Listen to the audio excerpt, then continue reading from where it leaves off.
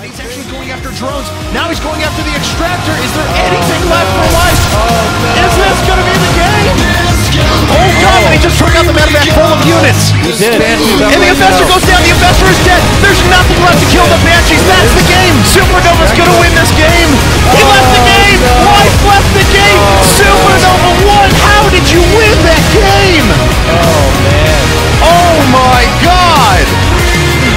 What just happened in that game, man? Wow. What?